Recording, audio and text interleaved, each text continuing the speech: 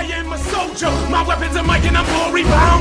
Now how's this story sound? What if the people would rise above? What if one day we united in peace and flooded the streets with cries of love?